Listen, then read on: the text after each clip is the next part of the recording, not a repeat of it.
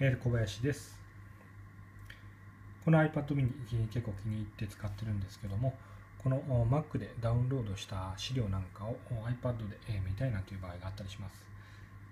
まあ、ドロップボックスとか使ってもいいんですけども、そこまでやるのがめんどくさいというような場合、まあ、本来だったらこの AirDrop という Mac にそのままついてる機能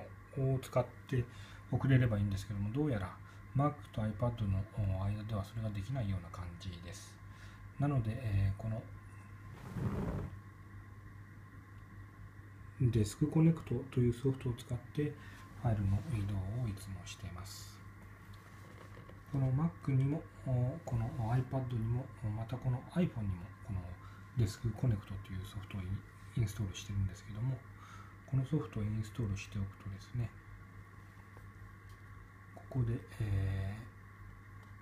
ー、例えばこのファイルを iPad で見たい場合、ドラッグして上のアイコンのところで iPad、iPhone とあるんですけども iPad で落とすと